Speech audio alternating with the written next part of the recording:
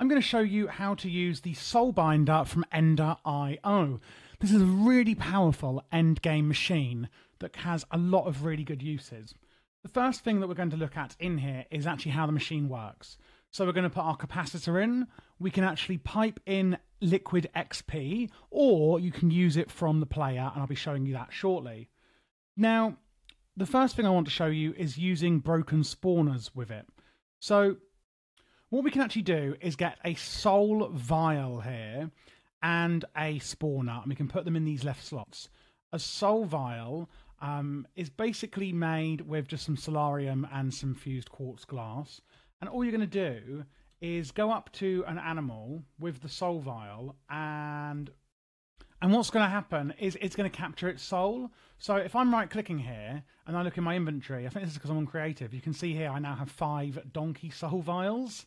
And what I can then do is go back over to my soul binder and I can take a broken spawner that maybe I found in a dungeon. Um, this is a broken Enderman one, and I can put it here, and I can get my my donkey vial, and I can put it here, and it will say there's zero out of eight levels needed of XP, but I can use player XP.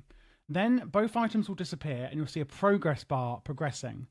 The higher the level of the capacitor you use in this machine, the quicker this process will go. And at the end, you're going to get an empty soul vial back, and now the spawner will be for the donkey. We can also use redstone control here. We can look at the sides for inputs and outputs. And as it is progressing, you will see it turning like this, by the way, which is pretty cool. And then we can also show recipes. So one of the other things you can do with a soul binder is use like a soul vial with a villager and an emerald with four enchantment levels, so four XP levels, and you'll get an enticing crystal. That can be used in an attractor obelisk, which I'll cover in other tutorials, ender crystals, um, Franken zombie, prescient crystals, sentient ender, really quite endgame things like this. Or one of my favourites is you can make soularium pressure plates and it will be tuned to whatever animal you use the soul vial with, meaning you can actually only have that pressure plate be activated by, say, a llama or a parrot, or maybe a villager. We can also add actual filters for our item conduits with soul item filters as well. That is something else you can do using a soul vial. Um, and there's things like that.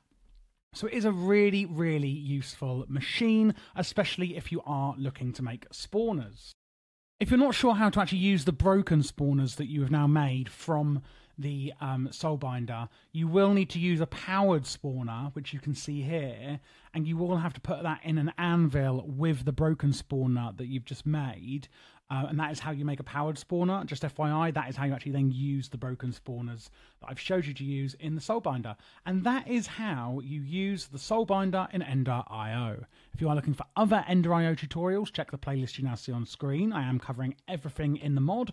And also check out my channel and the playlists I have available for other mods that I am doing.